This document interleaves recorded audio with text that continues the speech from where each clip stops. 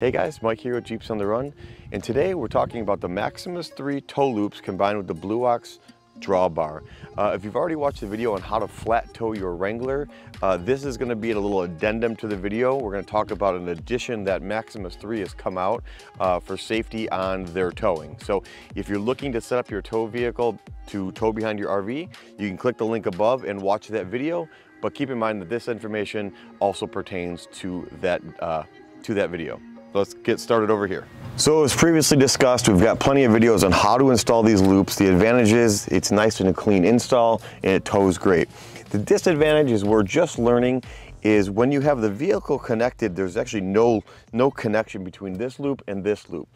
And the thought process is, or what they're seeing in the field, is when the Jeep is on a hard brake or the RV is on a hard braking and the Jeep comes into it, your, your, max, your Blue Ox wants to open up.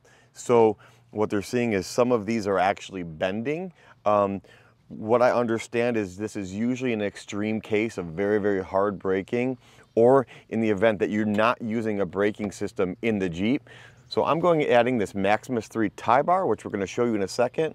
Um, but again, it's always recommended in law, and it's the law in most every state to use a braking system, but let's show you the, the addition that Maximus 3 has put out. We're going to show you how to install this Maximus 3 tie bar. So this is the Maximus 3 bar just for sake of video timing. I've already got it installed, but I'm going to show you how simple and easy it is to install for the first time. And then each additional time you go to set up the Jeep, this is going to add maybe 10, 15 seconds to your connecting process. Um, but the added safety I think will be well worth the advantage. So I've taken out the stock bolt that holds this Maximus 3 knuckle in, and I've just installed the bolt through the Heim joint on the tie bar and through this whole thing. So all it is, is it sandwiches it, it in here. On this side, basically we've done the same thing. We've, re we've removed the bolt that holds the Maximus 3 knuckle in. But this side, as you'll notice, will have a quick connect pin. So when you're ready to go and connect to your Jeep, what you're gonna do, and we'll show it, we'll show in a second, is you're gonna connect it like that. This obviously is gonna be much easier once it's connected to the Jeep, but I just wanna show you, so we'll talk about adjusting it in a second.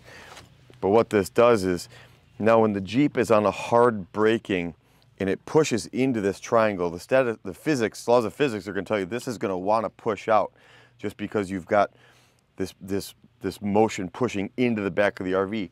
Again, if you're using your brake system properly, you really shouldn't have a lot of that motion. They're noticing that the, the issues are only under braking, not under actual towing. So when this pushes in, this wants to push on these out and in turn can, can tweak your tow loops on the vehicle. So this lateral bar here will stop this from, from opening up um, on a heavy brake. So, we're gonna hook this up to the Jeep. We're gonna show you actually how to connect this and adjust this. And we're gonna talk about a quick disconnect and how this thing stores when it's not on the vehicle. Depending what you do when you're not towing the vehicle, some people store this on the RV and they drive around. Um, the way it's set up with this one side bolted on permanently and this side a quick release, this will fold up and it will rest on the on the Blue Ox. But if you're gonna drive your RV around, this is gonna bang around and or you know, just scratch stuff up. So they do have the option is instead of doing the permanent bolt on this side, you can use two of the quick connects and then this entire link will come out. The only downside to that is you'll have one more thing to actually take out and store and put away. The upside is this will just store as it normally would. So again, we're gonna get it hitched up to the Jeep. We're gonna show you how to adjust it and what it looks like when it's completely installed.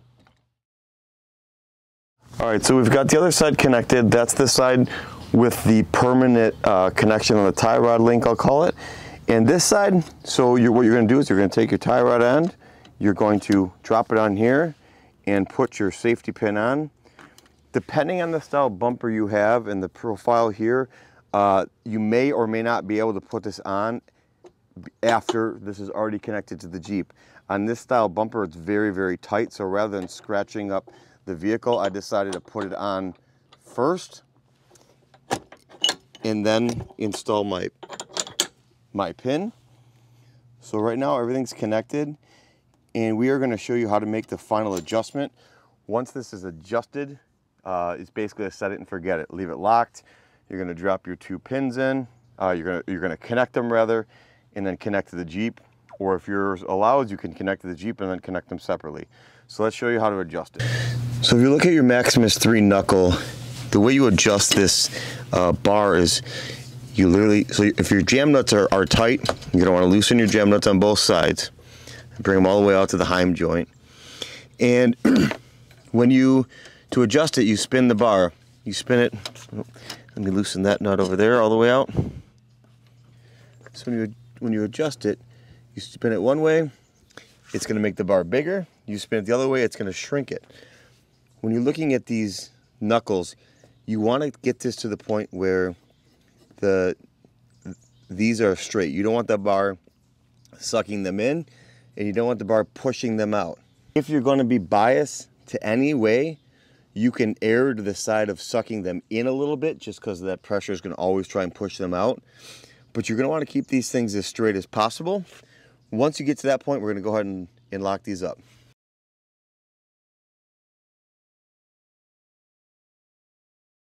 I found the spot that I liked where it's at. So I'm gonna go ahead and I'm gonna tighten up the jam nut. Remember this side is reverse thread. So when you go to tighten it, it is reverse. I'm gonna snug them up. And then what I think is gonna be easier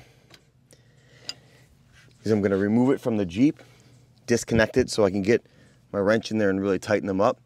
Once this is tight, in reality, you should really never have to adjust it again. So now that we've got it installed, if you're looking at the Jeep, and the Jeep was doing an emergency stop and you had 4,000 pounds pushing against the RV, rather than coming into this V and trying to open it up, it no longer can because it's got this lateral connection between the two of it. So I highly recommend it. I've been in contact with the engineers at Maximus 3. They specifically gave me the directions and talked about everything, how this should properly be set up. So this information is direct from Maximus 3. I had some questions myself. Again, this one is permanently mounted here and it's a quick attachment here. You can get them both with quick attachments if removing this all together is easier for you. I personally think that's the route I'm gonna end up going, but for the time being, uh, I'm okay with this. Thanks again for watching the video. Again, if you're looking for more in-depth on how to install the basics and wiring the Jeep to tow behind your RV, there will be links in the video above. Please follow our sister channel, Midwest Adventure Life. We've got a ton of RV tips. Uh, and be sure to like and subscribe to both Jeeps on the Run as well as Midwest Adventure Life. We'll see you out at the campsites.